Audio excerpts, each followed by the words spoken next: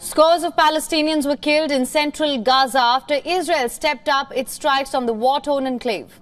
Another convoy of 17 aid trucks arrived as the Hamas-run territory faces catastrophic shortages.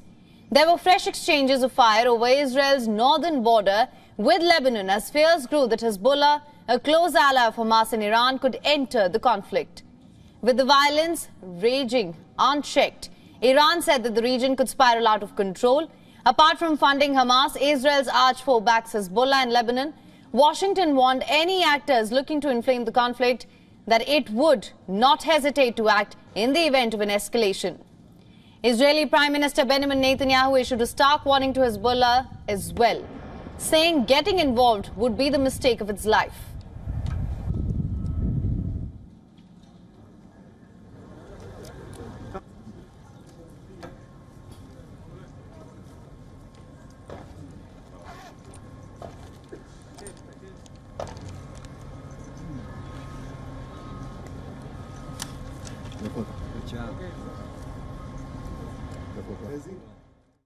שאתם עושים פה ומה ששמעתי עכשיו מהמפקדים שלכם זה דבר חשוב מאין כמוהו. אתם הורגים אנשי חיזבאללה שמנסים לתקוף את קו החזית שלנו. אני לא יודע עכשיו, כשאני נמצא איתכם, אני לא יכול להגיד לכם כרגע אם חיזבאללה יחליט להיכנס בצורה מלאה למלחמה. אם חיזבאללה יחליט להיכנס למלחמה, הוא יתגעגע למלחמת לבנון השנייה, הוא יעשה את טעות חייו. ואנחנו נכה בו בעוצמה שהוא לא יכול אפילו לדמיין. והמשמעות לו ולמדינת לבנון היא הרסנית. אבל אנחנו ערוכים לכל תרחיש. Gaza officials said the central town of Deir al-Balah had been particularly badly hit overnight, Saturday to Sunday. The ministry said at least 80 people had been killed in the overnight raids on central Gaza, which destroyed more than 30 homes. The UN Agency for Palestinian Refugees said that 29 of its staff had been killed since the start of the war, saying half of them were teachers. The scale of the bombing has left basic systems unable to function.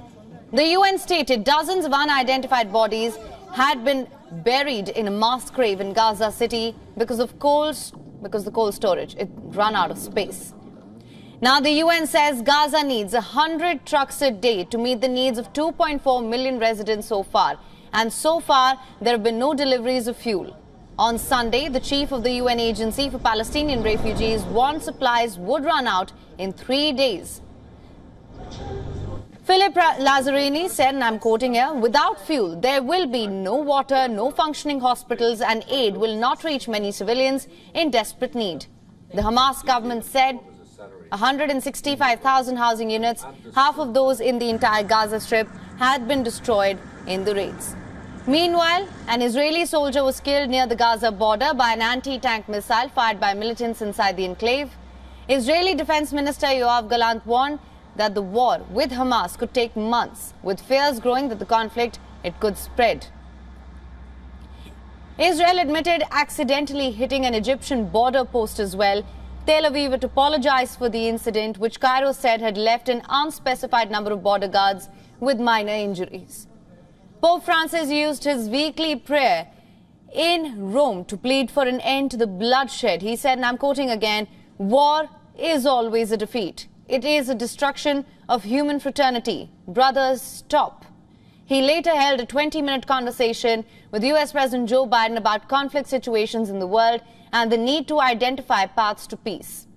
The US president later discussed with the war with the leaders of Britain, Canada, France, Germany and Italy. He also held talks with Netanyahu.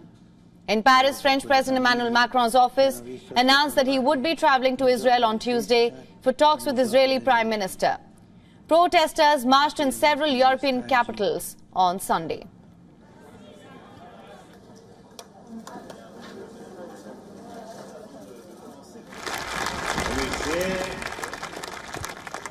dass in Berlin Molotow-Cocktails auf Schwerger wieder WION is now available in your country. Download the app now. Get all the news on the move.